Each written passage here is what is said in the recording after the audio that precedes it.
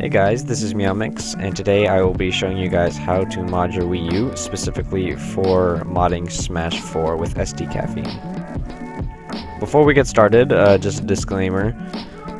Uh, for these mods, whenever you want to load them, you are going to need both your PC and your Wii U connected to the same internet connection.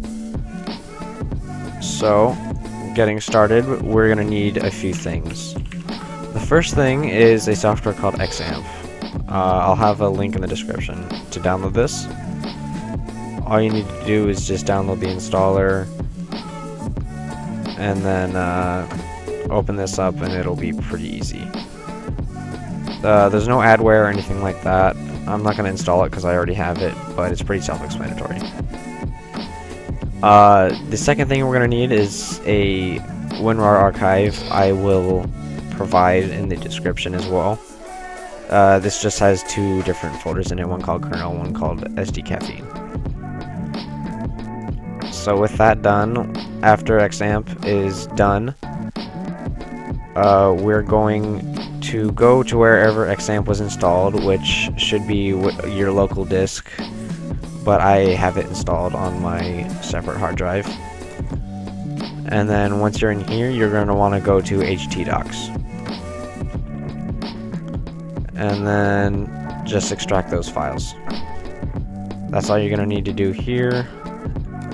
From there, you can go back here and start up XAMPP, or uh, it can also be right here on your start menu. Once XAMPP is started up, you'll see the screen. All you have to do is just click on the start button right here, uh, up by Apache. Okay, we can close all of this stuff out and minimize this. Now the last thing you're going to need to do on your computer is go here and open up your command prompt, which you can do by typing uh, CMD into your search bar. Hit enter, and then type in I key I oops sorry IP config. Hit enter, and you'll see all of these things. Now basically, all you need is this IPv4 address right here, which you can see mine is 192.168.0.8. Yours will probably be similar, but all you need to do is just remember that so you can get a notepad and just type that in on there.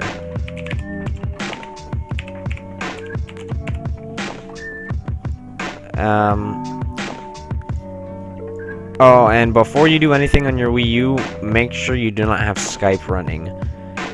If you're uh, if you're connected to Skype, go ahead and log out because it will interfere and could make it uh, not functional. So go ahead and sign out of Skype, and everything should work just fine. Now I will go over to my Wii U and uh, tell you what you need to do from there. Alright, now that we're over here on our Wii U, make sure you're connected to the internet and just open up your internet browser.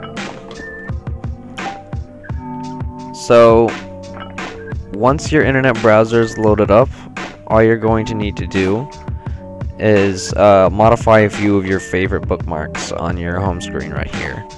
Uh, you can see I already have them set, uh, set up, so you can just press Y to open up your bookmarks uh, you can't see it on the screen right now, but you're going to want to name one of them kernel and the other SDCafiine. And then in the URL bar, you're going to want to put this, what I'm about to put on the screen. Um, of course, in the part that says your IP, you want to put in the IPv4 address that you wrote down earlier in the video. Um, you're going to want to do that for both of them, and then once you have those bookmarks ready, all you have to do is just click on the kernel bookmark first. Once that loads up, this is the screen you will see. After that's done, it will take you back to your home screen, where you can click on your internet browser once again. And then once your internet browser is loaded, click on the SDCafiine bookmark, and it'll take you to this screen. Um, it has some optional stuff here uh, for logging.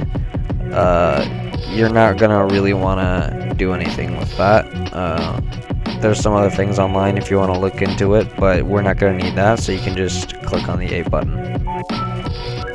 It'll take you back to your home screen once again. Can just click on your Wii U menu, and you will now be able to load your modded files uh, for Smash 4. I'm not going to be covering how to get those files and add them into your game with your SD card in this tutorial, but in the next part I will be covering custom textures and custom music, so uh, I'll add an annotation right here if you want to go check that out. Uh, with that being said, thank you for watching, and I hope to see you in the next video.